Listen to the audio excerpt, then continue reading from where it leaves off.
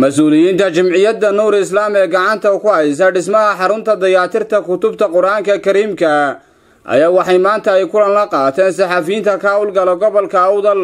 Kulankaasi oo ujeeddadiisu ay daarnayd sidii saxafiyiintu door muhiima uga qaadan lahaayeen bulshadana ugu sheegi lahaayeen muhiimadda ay leedahay dhismo lagu dayactiro kutubta qur'aanka kariimka.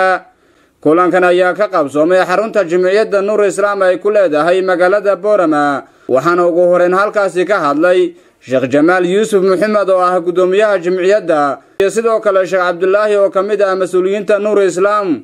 Iyagoona saxafiyiinta gobolka awdal uga mahadnaqay sidii ay u soo ajiibeen kulankani sidoo kalena waxay soo bandhigeen kutubtii qur'aanka kariimka ee ay soo ururiyeen. Iyagoona halkaasi bulshada baaq uga diray waxaana ay tilmaameen. Halkan waxaa yaalla markaa kutubtii qur'aankii ugu murugata badnayd ee ayna soo martay intii aynu ku jirnay ururinta kitaabka qur'aanka kariimka. Waxaan ka soo qaadnay gidaafad baa laga soo qaaday. Waxaa jirta marka qaarkood qolooyinkan khashinka qaada ee gidaafadaha guraya ayaa dadkii markii ay kutubtii badatay googo'day ay dabeete markaa waxay qaadaan kutubtii oo googo-an waxaa lagu dhex daraa khashinka. Baadhid baan samayno dabeete waxaanu soo ogaanay inay dadkuba leeyihiin mar haddii googo-ay la gubayo khashinkuna lagu dhex gubo. Taasina waa runtii waxa weeye mid laga subxaanlaysto mar kasta waxaad arkaysaa in musxafku saa inoogu dhex dayacan yahay. Ma aha keliyaate awdaloo keliya maaha dunidao dhan buu markaas san ugu dhex dayacan yahay. Mar hadduu san ugu dhex dayacan yahay adduunkii oo dhan waxaan isnidhi marka waxay ku habboon tahay in meel u gaara loo sameeyo oo loo dhiso oo marka halkaa kitaabka qur'aankaa lagu ilaaliyo qalabkiisii markaa lagu samaynayna loo raadiyo sidaa markaa lagu dayactiro.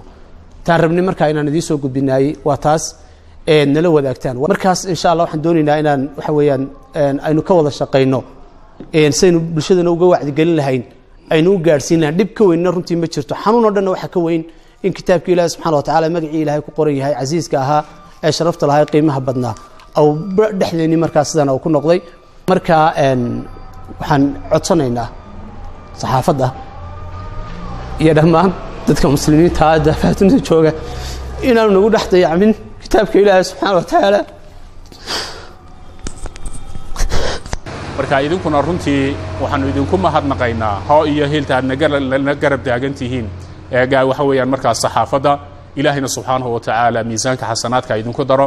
Waayo saxaafaddu waxa weeyaan waa seef laba afle weeye marka insha allah sidaad khayrka ugu adeegsateen ee ilaahay subxaanahu wa tacaala kitaabkiisa mar walba warbixinta laga dhiibayo aad waxa weeyaan markaa diyaarka u tihiin ilaahay subxaanahu wa tacaala waxa weeyaan ha idinku anfaco. Idinka iyo ehelkiina iyo ubadkiinaba ilahay subxana wa tacala ha idinku anfaco cid kasta oo waxa weeyaan markaana maqlaysa in ilaahay subxaanahu wa tacaala kitaabkiisa laga soo qayb qaato oo dhulkaa la bixiyey in ay dowladdu bixisay in loo dhiso waxa weeyaan hantidana ilaahay subxaanahu wa tacaala waxa weeyaan markaa in lagu bixiya buu ina amray meelaha ugu khayrka badan. Waana kitaabka ilahi subxaanahu wa tacala halkii ugu qiimaha badnayd ee kitaabka ilahi subxaana wa tacaala hantida lagu bixinayay buu ka mid yahay. Geesta kale iyaguna waxaa sidoo kale halkaasi ka hadlay abubakar xasan xaafis guddooha wasaaradda warfaafinta iyo dhaqanka ee gobolka awdal iyo sidoo kale ibraahim cabdulaahi suxufi oo ka mid ah saxafiyiinta gobolka awdal. Waxaana ay sheegeen in saxafiyiinta gobolka awdal ay mar walba diyaar u yihiin sida uga qayb qaadan lahaayeen xarunta dhismaha kutubta qur'aanka kariimka. Annagu saxaafad ahaan waxaan ka midnahay kuwii la bilaabay wakhtigii la asaasayey ee kutubta bilowgooda la soo ururinayey ilaa imigana sidii baanu la shaqaynaa xil gaara inaga saaran oo mas'uuliyiin baan nahay inaan cid walba ku baraarujinno. Kitaabkii meel ku dayacan in la soo qaado oo xitaa haddaan awoodi kari weyno inaan inagu gubno ama god u qodno inaan soo gaadhsiino jimciyadda.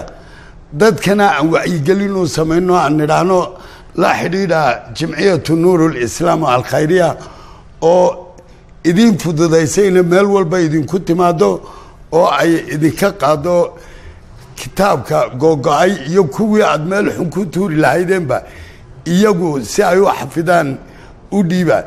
Waxaananu ka saxaafad ahaan aan diyaar u nahay oon idinla garab taagannahay inaan idinla shaqayno waanad ku mahadsantihiin waan idinka mahadcelinanaa.